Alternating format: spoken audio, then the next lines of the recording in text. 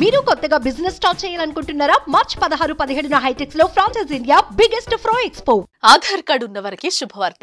ఏదైనా తప్పులుంటే ఉచితంగా సెర్చ్ చేసుకునేందుకు ఇచ్చిన గడువును మరోసారి పొడిగించింది కేంద్ర విశిష్ట గుర్తింపు ప్రాధికార సంస్థ యుఐడిఏఐ ఉచితంగా ఆధార్ కార్డ్ వివరాలు అప్డేట్ చేసుకునేందుకు గతంలో అవకాశం ఇచ్చిన సంగతి మనకు తెలిసిందే. ఈ గడువు మార్చి పద్నాలుగు రెండు వేల ఇరవై నాలుగుతో ముగియనుంది. ఈ క్రమంలోనే దానిని మరో మూడు నెలల పాటు పొడిగించింది.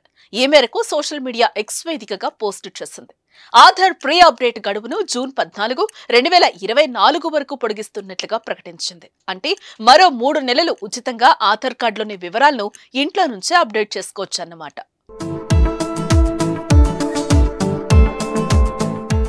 యుఐడిఏఐ పోస్టు ప్రకారం ఉచితంగా ఆన్లైన్ డాక్యుమెంట్ అప్లోడ్ సేవలను జూన్ పద్నాలుగు రెండు వేల ఇరవై నాలుగు వరకు యుఐడిఏఐ పొడిగించింది. ఇది లక్షల మంది ఆధార్ కార్డు ఉన్నవారికి ప్రయోజనం కల్పిస్తుంది. ఈ ఉచిత సేవలు కేవలం మై ఆధార్ పోర్టల్లో అందుబాటులో ఉంటాయి. ప్రజలు తమ ఆధార్ డాక్యుమెంట్లను ఎప్పటికప్పుడు అప్డేట్గా ఉంచుకునేందుకు యుఐడిఏఐ ప్రోత్సహిస్తోంది అని పేర్కొంది ఆధార్.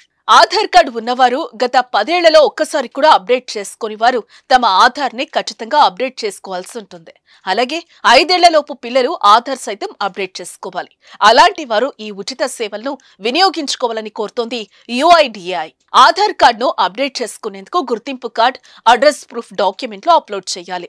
ఉచితంగా ఆధార్ అప్డేట్ కోసం ఆన్లైన్లో my Aadhaar dot UIDAI dot GOV dot IN portal ద్వారా చేసుకోవచ్చు.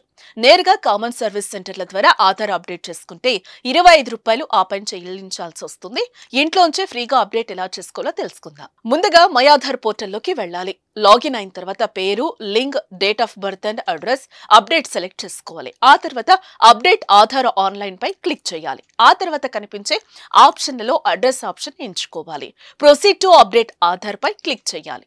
ఆ తర్వాత అవసరమైన డాక్యుమెంట్లను అప్లోడ్ చేయాలి. సర్వీస్ రిక్వెస్ట్ నెంబర్ వస్తుంది. దానిని భవిష్యత్తులో స్టేటస్ చెక్ చేసుకునేందుకు భద్రపరచుకోవాలి.